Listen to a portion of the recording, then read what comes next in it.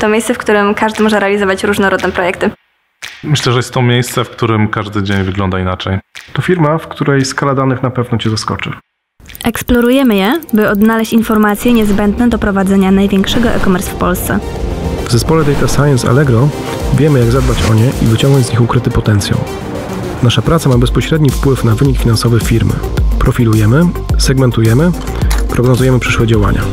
To dzięki naszej pracy podejmowane są decyzje na poziomie operacyjnym i strategicznym.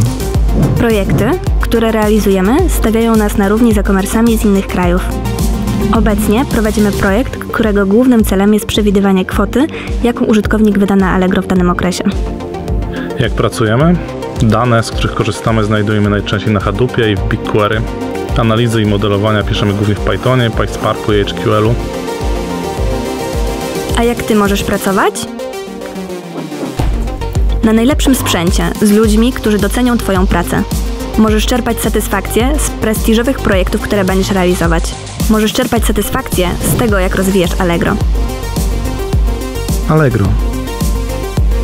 Dobrze tu być.